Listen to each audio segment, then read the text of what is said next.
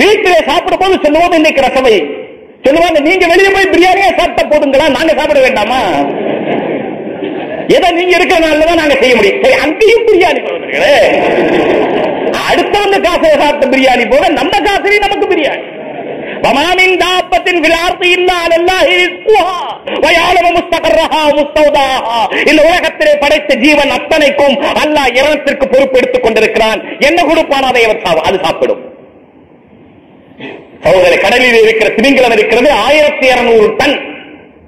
சிந்திக்க வேண்டும் யாருக்கு டன் தங்களுடைய யோசனையிலே இருக்கிறதோ. ஒரு லாரியில சாதாரணமாக எத்தனை டன் ஏற்றலாம் சகோதரர்களே? ஆகப்பெரிய லாரியா இருந்தால் பத்து டன் பதினஞ்சு டன். வச்சுக்கங்க சாதாரண திமிங்கலம் போடுகிற குட்டி இருக்கிறது திமிங்கலத்தினுடைய குட்டி முப்பத்த நாலு நாலு டன்னில் இருந்து ஆறு டன் வரை. ஒரு குட்டி. அந்த குட்டிக்கு அதுக்கு வருகிற பால் இருக்கு பாருங்க எவ்வளவு தெரியுங்களா? ஆயிரத்தி ஐநூறு லிட்டர்.